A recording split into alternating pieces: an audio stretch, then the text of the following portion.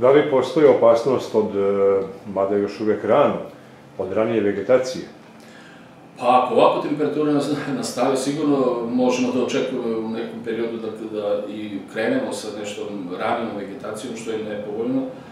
Znamo da prema našem području postoje mogućnosti za pojavu kasnih prolećnih mrazeva koji mogu da nanesu velike štete, naročito od koštičnog voća, to je, tu su kajsija, breskva i šljiva, najčešće. E, tako da, nadamo se da će temperatura ipak da se spusti, da zima dođe u nekom svom pravom obliku, a da normalno proleće, kad krene, da se normalno i uh, odvija proces razvoja samih biljaka.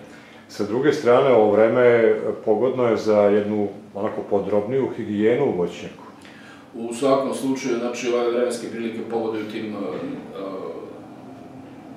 radovima, znači, radovima u voćnjaku, to su, kao što ste rekli, higijena uh, voćnjaka, vinograda i tako dalje. To podrazumeva, znači, uklanjanje svih polomljenih, zaraženih grana, sasušenog lišća, mumificiranih plodova i tako dalje, iznošenje van voćnjaka, spaljivanje, Normalno, ovaj period mogu e, voćari, vinogradari, naročito voćari da iskoriste i za porezivanje znači, voćnih stabala, tako da e, s te strane je da povoljno, jer normalno kad dođe vreme rezidbe ili tih operacija koje se odvijaju obično negde tamo marta meseca, sigurno će biti znači, lufta, da kažemo, za poljoprivredne proizvodjače, će dosta tog posla sad u ovom periodu obaviti.